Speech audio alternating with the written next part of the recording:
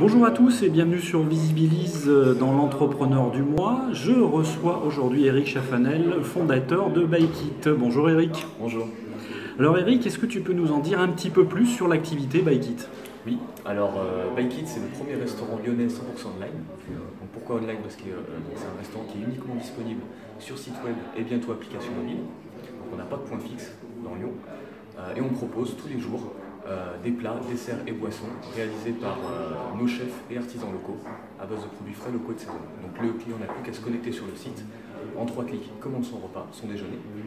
Ensuite, il choisit son jour de livraison et son créneau de livraison, donc du lundi au vendredi de 11h30 à 13h30. Il est livré directement en bas de son bureau. Eric, quelle est la typologie aujourd'hui de tes, de tes clients? Alors, les principaux clients que nous avons chez Bikit sont en général euh, des clients qui ont entre 23 et 40 ans, euh, des actifs, donc c'est uniquement les actifs le midi. Après, bien sûr, on peut avoir des particuliers qui ont envie de manger chez eux, de se faire livrer, etc.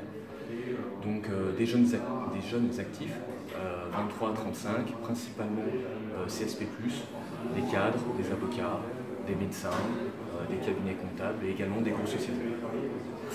Eric, aujourd'hui, quels sont tes leviers marketing pour faire connaître euh, bah, ton entreprise Alors, les leviers marketing qu'on utilise euh, beaucoup de mailing avec des outils de, euh, de emailing, euh, beaucoup de street marketing. Donc là, on va faire une grosse campagne de street marketing dans les prochaines semaines sur Lyon. Donc flyers, street marketing dans les rues, devant les entreprises également. Et beaucoup de, beaucoup de réseaux sociaux aussi, donc Facebook, Twitter. Et voilà.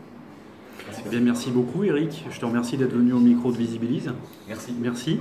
Quant à nous, bah, on se retrouve euh, le mois prochain pour la nouvelle édition de l'entrepreneur du mois. Salut à tous.